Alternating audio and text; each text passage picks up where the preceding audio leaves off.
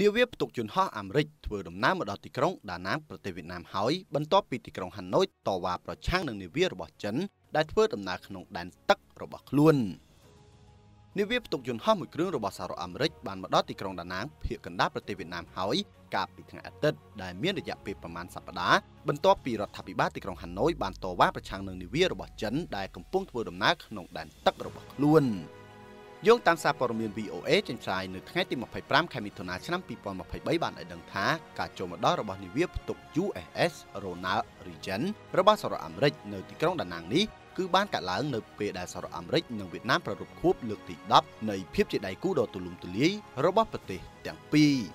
ស្ថានទូតអាមេរិកនៅទីក្រុងហាណូយបាននិយាយថានាវាផ្ទុកយន្តហោះដែលជាផ្នែកមួយនៃកងនាវាទី7របស់សហរដ្ឋអាមេរិកគឺគ្រប់គ្រងសេរីភាពនិងការបើកចំហនៅតំបន់ Indo-Pacific បានមកដល់ជាមួយនឹងនាវាអមដំណើរពីគ្រឿងទៀតគឺនាវាផ្ទុកមីស៊ីល USS Antietam និងនាវា USS Robert Small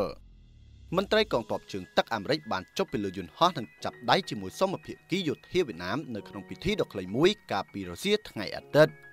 មេបញ្ជាការនាវា USS Ronald Reagan គឺលោក Daryl Cardon បាននិយាយនៅក្នុងសេចក្តីថ្លែងការណ៍មួយថានាវិកជាង5000នាក់នៅលើនាវា USS Ronald Reagan មានបំណងចង់ទៅទស្សនាទីក្រុងដាណាងនិងស្វែងរកបទពិសោធន៍វប្បធម៌វៀតណាម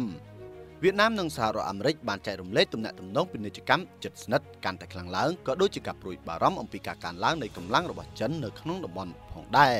នាវាស្រាវជ្រាវរបស់ចិនកប៉ាល់ឆ្មាំឆ្នេរសមុទ្រជាច្រើននិងទូកនេសាទជាច្រើនគ្រឿងបានធ្វើដំណើរជាច្រើនសប្តាហ៍នៅក្នុងតំបន់សេដ្ឋកិច្ចផ្ដាច់មុខរបស់វៀតណាមនៅសមុទ្រចិនខាងត្បូង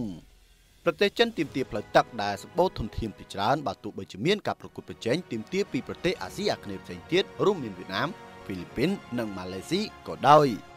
លោកវៀនដភួងបេក្ខជនបណ្ឌិតផ្នែកសន្តិសុខដែនសមុទ្រនៅសាកលវិទ្យាល័យ New South Wales Canberra បានប្រាប់ ASP ថាដំណើរទស្សនកិច្ចរបស់នាវាផ្ទុកយន្តហោះអាមេរិកនេះផ្ដល់សារថាវៀតណាមកំពុងបន្តរក្សាតុល្យភាពប្រឆាំងនឹងចិនដោយការកែលម្អទំនាក់ទំនងសន្តិសុខរបស់ខ្លួនជាមួយសហរដ្ឋអាមេរិកនិងជាមួយមហាអំណាចខាងក្រៅផ្សេងទៀត